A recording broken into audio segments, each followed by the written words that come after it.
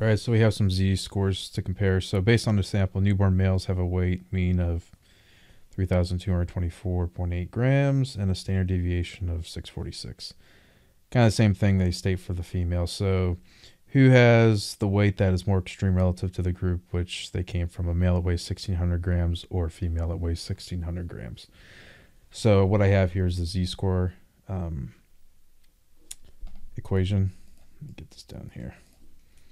So this is the weight for the baby boy or baby girl. This is the mean in their group of male or female, and here's the standard deviation. So first for the boy, um, what we're going to have is we're going to have six, oops, 1600 minus 3224.8 divided by um, 646.3 grams. And this gives us approximately negative 2.51. Uh, this is for the male.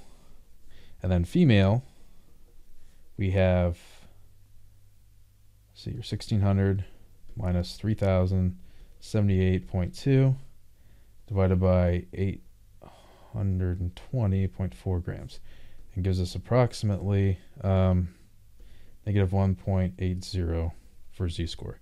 So the more extreme of these is, of course, the male, which is negative 2.51. All right, I hope this helped you out. Thanks for watching. Have a great day.